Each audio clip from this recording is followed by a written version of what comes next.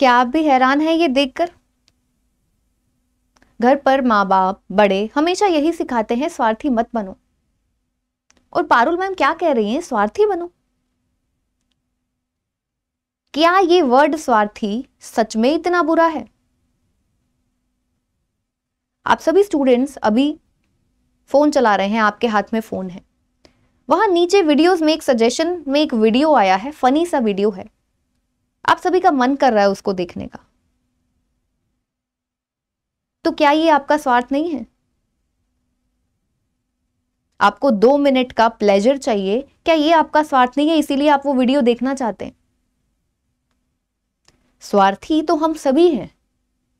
बिना स्वार्थ के कुछ नहीं करते।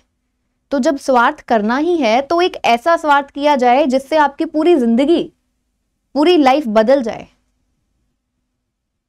पूरी लाइफ आपकी संवर जाए। आपकी, आपके माँ बाप की, आपके बच्चों की। हर माँ बाप का सपना होता है कि उसका बच्चा एक अच्छे स्कूल में जाए, अच्छी एजुकेशन मिले और वो कामयाब हो ज़िंदगी में। क्या आप नहीं चाहते ये? चाहते हैं ना?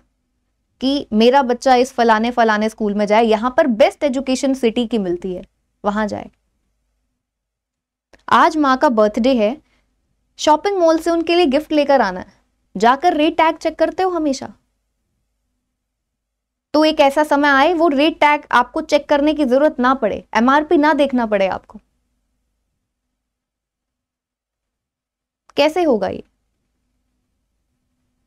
जब एक बहुत अच्छी नौकरी तुम ले लोगे।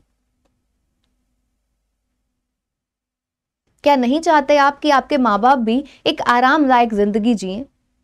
आज तक वो इतना स्ट्रगल करते आ रहे हैं। उन्हें भी, अब उनकी इतनी उम्र हो गई है, ज़रूरत है थोड़ा थोड़ा आराम से, थोड़ा रेस्ट करने की। क्या आप नहीं चाहते कि आपकी ज़िंदगी भी बहुत थोड़ी सी थोड़ी आरामदायक हो जाए? आपके बच्चों के लिए आप जो चाहते हैं वो कर पाए। जिन चीज़ों के लिए आप तरसे हैं अपने बचपन में, आपका बच्चा उन चीज़ों के लिए ना तरसे। चाहते हैं ना आप? कैसे होगा? जब एक अच्छी नौकरी मिलेगी। क्या आपको पता है कि अगर आज के समय में आप एक बैंक पीओ बनते हो ऑन एन एवरेज में बात कर रही हूँ यहाँ पर, अगर आप एक बैंक पीओ बनते हो तो आपकी लगभग सैलरी इन हैंड सैलरी बाकी चीज़ों की बात नहीं कर रही हूँ इन हैंड सैलरी आपकी फिफ्टी थाउज़ेंड पचास हज़ार होगी। और जब तक आप रिटायरमेंट का समय आएगा, जब तक आप रिटायर होंगे, तब तक आपकी सैलरी पता कितनी हो जाएगी? ढाई लाख रुपए। जी हाँ, ढाई लाख।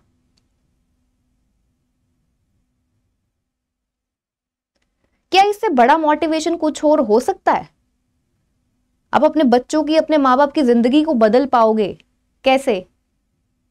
इन छह महीने दिन रात एक करने से।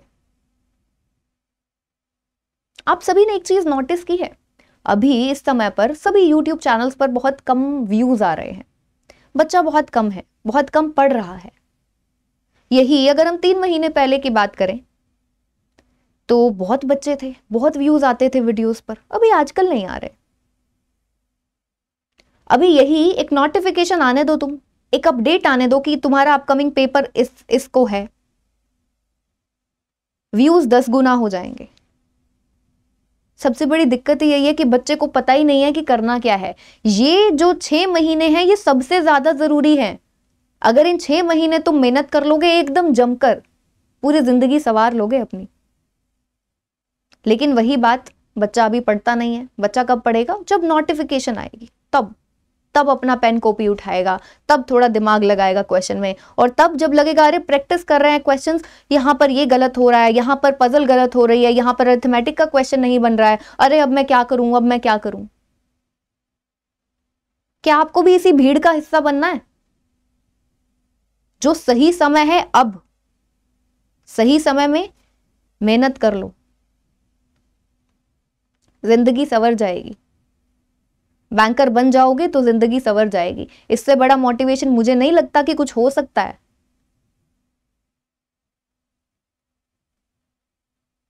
तो स्वार्थी बनो। लेकिन कौन सा स्वार्थ? वो तुमको देखना है। तुमको दो मिनट की खुशी चाहिए सिर्फ़।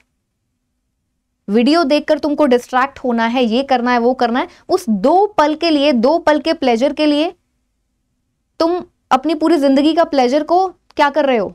नजरअंदाज कर रहे हो। पूरी ज़िंदगी जो तुम आराम से निकाल सकते हो, एक अच्छी सैलरी जब तुम्हारी होगी, अपने आसपास तुम्हारे माँ बाप तुम्हारे बच्चे, तुम्हारे साथ खुश रहेंगे। उसकी चिंता करो। ये सब डिस्ट्रैक्शंस हैं फ़ोन यूज़ करना है इंस्टाग्राम चलाना है, ठीक है, हर चीज़ की एक लिमिट होती है। अगर तुम इन्हीं सब चीज़ों में ही रह जाओगे तो फिर बड़ी रेस में क्या करोगे? बड़ी रेस में पीछे रह जाओगे।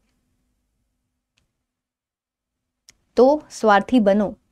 और देखो, एक ऐसा स्वार्थ, एक ऐसा स्वार्थ करो जिससे तुम्हारी पूरी ज़िंदगी सवर जाए, तुम्हारे माँ बाप की ज़िंदगी सवर जाए। स्वार्थी बनो और खुद पहचानो, खुद देखो कि कौन सा स्वार्थ तुमने, तुम्हें करना है। किस टाइप का स्वार्थी तुम्हें बनना है, खुद से देखो।